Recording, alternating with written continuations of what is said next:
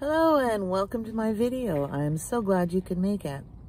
This video is on a spreadsheet that I have developed to help keep me on track with my bus build. Even though I do not yet have my bus, it doesn't mean that I can't start working on some of the aspects of it. And one of the biggest questions in my mind was how much is this going to cost me? And that's what this spreadsheet is on. Now there's no numbers or very few numbers, uh, dollar values on the spreadsheet at this time because I'm just still compiling it. But I thought I'm at a point where I can share it with you so that maybe you can start your own spreadsheet while you're waiting to purchase your bus. Without further ado, here's my video. The first sheet of the budget that I had started for my bus build was a budget basically, but then I realized, well, as I'm creating the budget, I realized that I really don't know what it's going to cost me. So there's no sense in building a road budget until I know what things are going to cost me. And I'm not going anywhere until I get the bus built. And that budget is a little bit more important. So one page grew to 19 pages. So we're going to go through them fairly quickly because I just wanted to give you a sense of what I'm doing. And so the first thing that I had to figure out is what do I need to do to get this bus plated and insured? So I went to the MTO, which is the Ministry of Transportation for Ontario, their website, and I had to do a little bit of digging, but I did find it, and they require, I believe it's seven things. After you have those components in your bus, then you can go over to the ministry and say that it is no longer a commercial vehicle, it is now privately owned, and it is an RV. Here is my written declaration. That's simple enough. You know, just write down everything you did. And any changes made to the vehicle that uh, meets the criteria for a motorhome. So if you go onto the MTO site in Ontario, um, that is providing you're an Ontario resident, of course. If you go onto the site and just search out um, motorhome, not RV, not trailer, motorhome.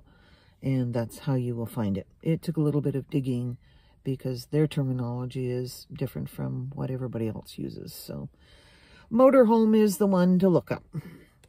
Then, of course, you have to get a safety inspection completed and certified, and you have to get insurance and then you can acquire a 10-day permit um, rated as an RV um, to go and pick up your plates.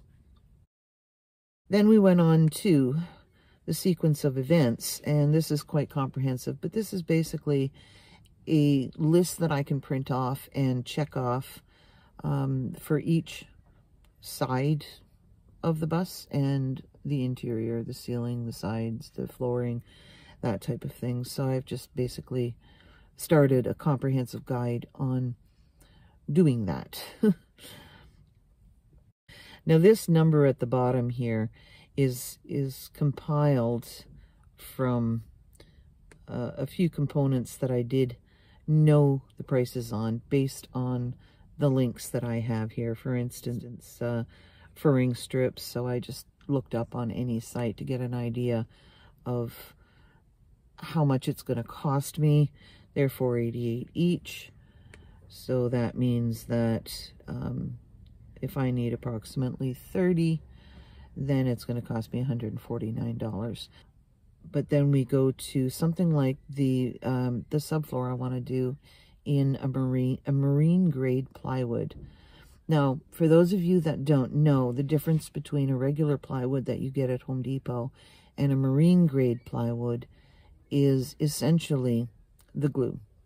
So plywood is made by taking a layer of wood and putting another layer of wood with glue in between, and then another layer and another layer, and I don't know how many layers they do, and then they compress it. The marine plywood, they use a water-resistant paint, so when water gets on it, it's not going to deteriorate. Now, the wood will still deteriorate because it's wood. But the glue that holds it together Um, it's made for boats and with a good coat of marine paint on it. Those things light, last quite a long time. So this is what I plan to do. So I, I looked up, I got in touch with this one place down by Cornwall because I happened to be in that area at the time. And um, I figure for four or five sheets is what I'd need for the subfloor. It's going to cost me 720 bucks, and that's without the taxes. And this is a place that I was looking at is uh, Monaghan Lumber Specialties, and that's where you have to go to get the marine grade plywood. Now, I certainly wouldn't want to do um, the whole build in marine grade, but at least, at the very least, I want to do the subfloor. That was important to me. So to me, that's this, this price here is, it's an investment into the future of my build. Everything else on top of that, like any cupboards or walls or anything like that will be done in regular plywood. So I'll be saving a little bit there and I'll be utilizing as much free stuff as I possibly can find. And I'm not in a hurry to build my bus. It's not like I have to have it built in two months or anything like that. I just want to get it to the point where it's plated and then I can start building.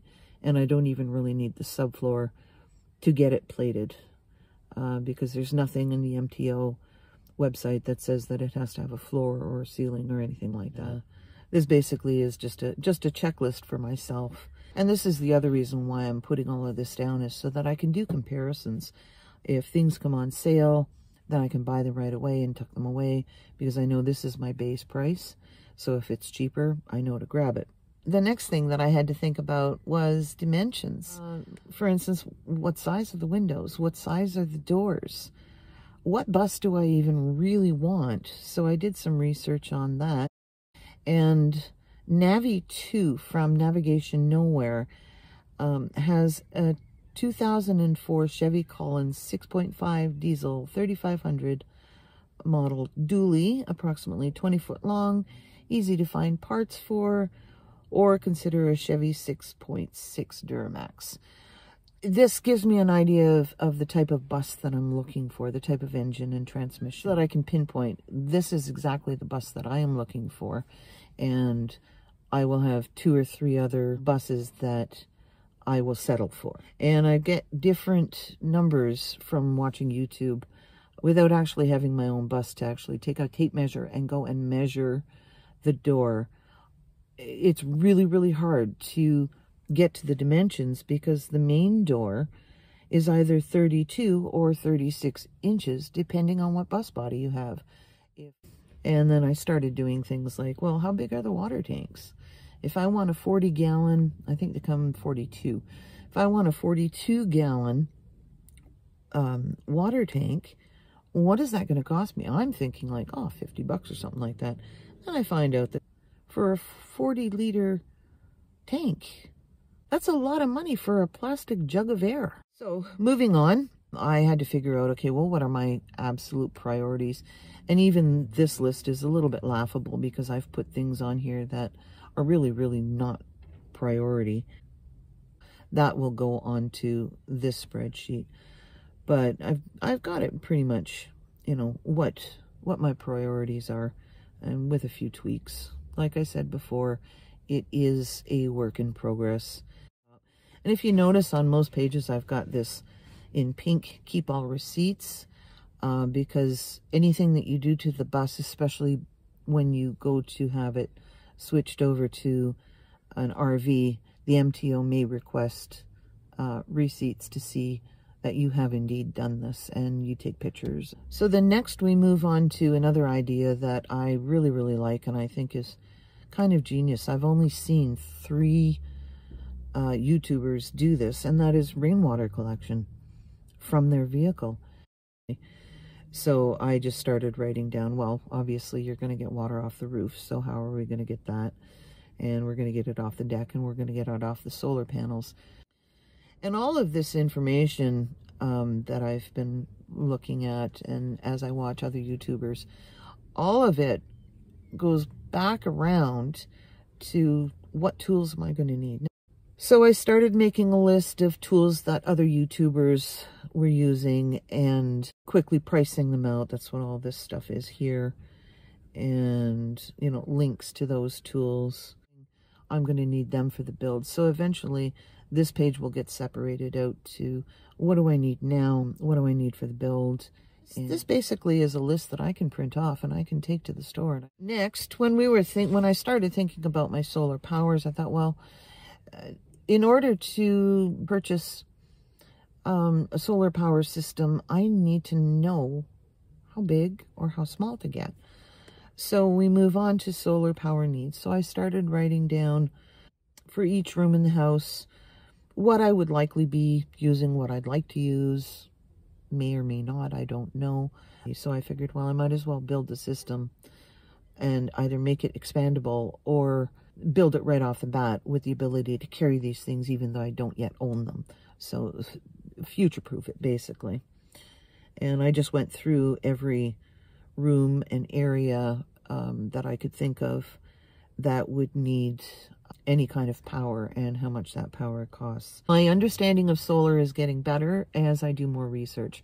But when I first started, I honestly had absolutely no idea. I knew how it worked. I knew the idea. I knew that you needed solar panels that went into a battery.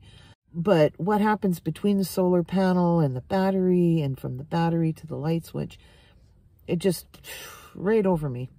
Took me the longest time to figure out that an inverter was different from the controller and so, you know, like I'm getting there, I'm getting there very quickly and doing this particular page actually really, really helped out because it kind of laid it out on my mind in the sequence of events almost. Um, but please don't take my word for it because I'm by no means a solar expert. So then I started thinking, uh, okay, so solar, what exactly do I need? Because from the solar power system, I know it gets dispersed. And I figured, okay, well, I have no idea how many plugs I need. Or if I need, you know, two 12 volt and five 110, or do I want to do two 110 and a dozen 12 volt, I don't really know. So I figured I better sit down and figure this out. Anyway, I just started breaking it up to see how many plugs do I have to buy in 110 and how many do I have to buy in 12 volt. It's a good thing to know because once I know how many I need or want, then I can put it on the list and I can figure out what's the best price and I can budget for it then. right now, I could say $500 and find out that it's going to cost me 700 I don't know. And this is the whole premise behind doing this spreadsheet is so that I can figure out, you know, kind of what is this on the top end and the low end going to cost me. So from there, we move on to plumbing. We're going to go through this a little bit faster because we're starting to get into some time there. So plumbing, basically I've done the same thing as I did with the electrical. I have a better understanding of plumbing um, than I do of the electrical until it comes to my recirculating shower, which is going to have to be built from scratch because I'm doing something special with the shower and I can't just go and buy a shower pan and put it in and away I go. And then it brings me to specifically the plumbing for the bathroom and what components in the bathroom do I need.